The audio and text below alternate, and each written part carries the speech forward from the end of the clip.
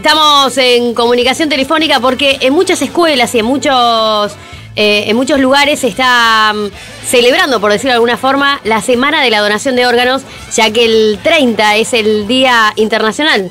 Si no me equivoco, ahora me van a corregir, de la donación de órganos. Por eso estamos en comunicación telefónica, decíamos con Lucía Quist, a ver si dije bien el apellido, de la Fundación Continuar Vidas. Muy buenos días, Lucía. Gracias por atendernos. ¿Cómo andamos?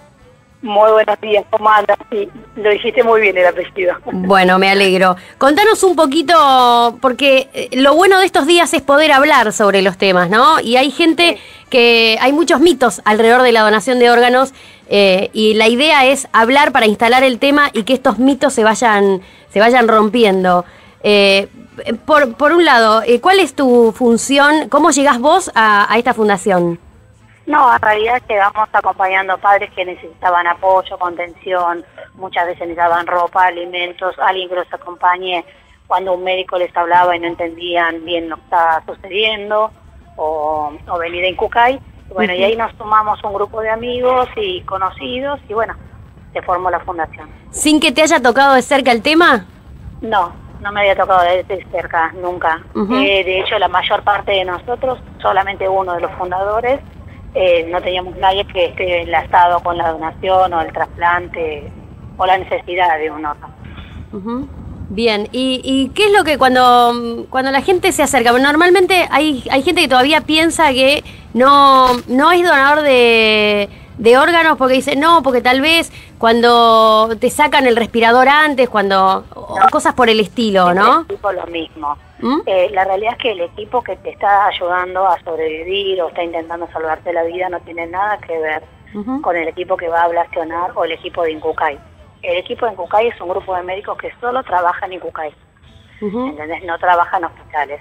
Y la gente que trabaja en hospitales no sabe exactamente quién espera, qué le espera, entonces no tiene contacto con ellos. Solamente se comunican cuando hay un potencial donante. Ahí se hace en Incucay, le hace las pruebas son más de seis, desde apnea, viste, muchos test, eh, ecocardiograma, electroencefalograma, un montón de estudios para corroborar que hay muerte encefálica. Solamente si corrobora eso puede ser donante. Si no, se retira del lugar.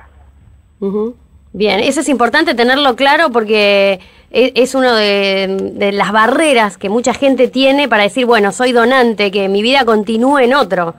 No, que no quede todo acá. claro, claro. La gente tiene que tener claro que solo tres de cada mil personas que fallecen podrían ser donantes. Solamente se puede ser donante falleciendo en un nosocomio dentro de una unidad de cuidados intensivos. Entonces la realidad es que muy poco la cantidad de gente. Más de 11.000 personas esperan un trasplante y más de 200 son chicos que esperan un trasplante. La realidad es que para ser donante no solamente tu órgano tiene que estar en condiciones y tienes que haber estado una cantidad determinada de tiempo asistido, si es prolongada no podés ser donante, eh, sino que aparte es grupo, factor, H, histocompatibilidad, peso, altura, contextura, todo eso va con respecto a el donador y el receptor. Entonces son muchas las cosas que tienen que estar bien hechas y que tiene que compatibilizar para poder serlo. O sea que por más que cada uno declaremos que somos donantes, tal vez no sirvamos, por decirlo de alguna forma. que vos, claro, que vos digas quiero donar todos mis órganos y capaz que puedes donar uno.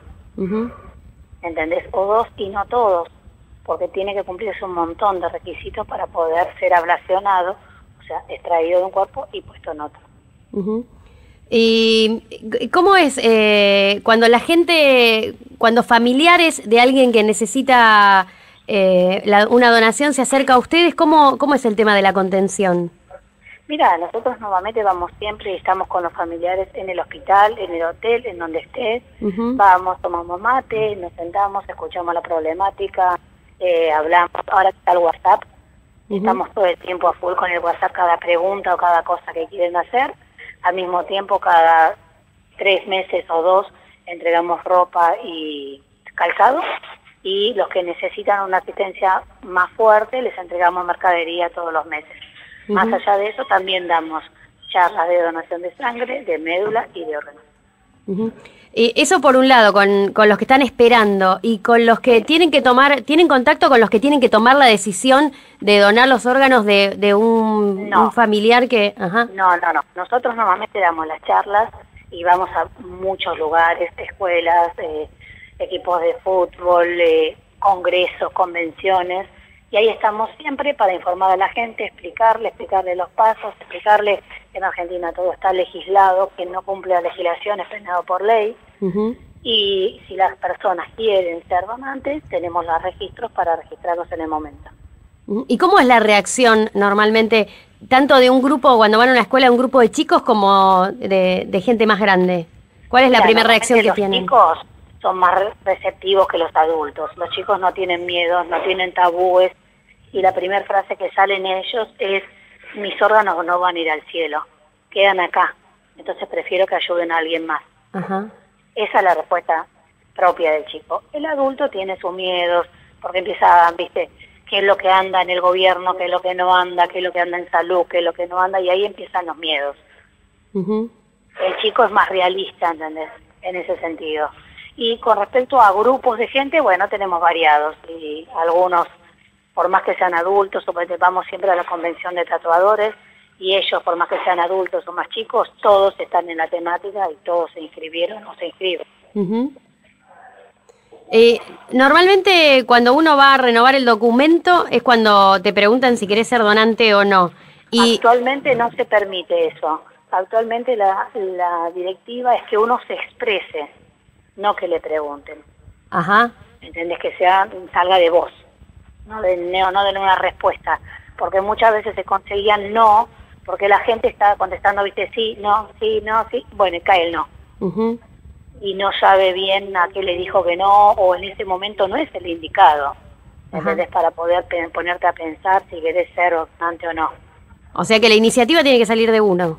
Exactamente. Y más allá de que salga de uno, tiene que hablarla con la familia.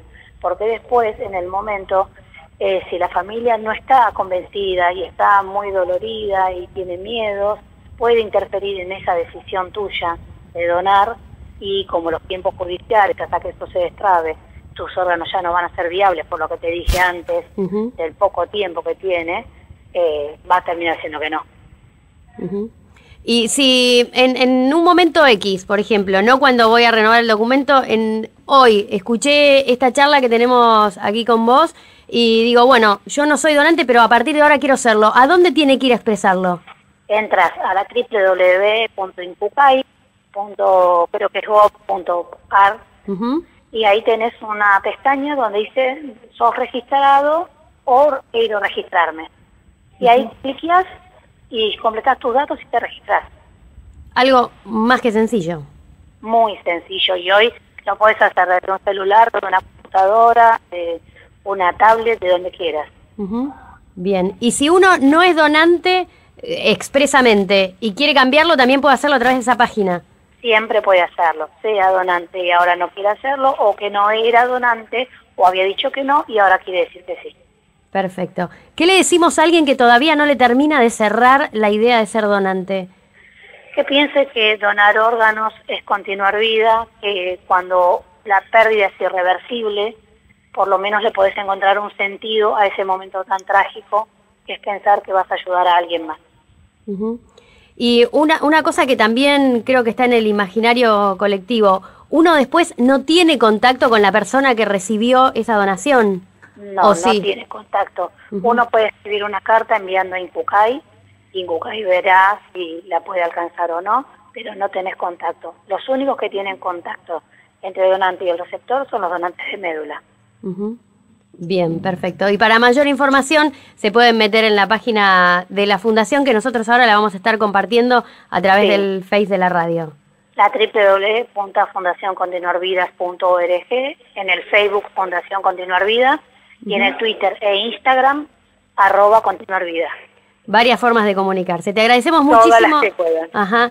Te agradecemos muchísimo tu tiempo y toda la información, Lucía. Muchísimas gracias. Que tengas un buen día. Gracias igualmente. Hasta luego.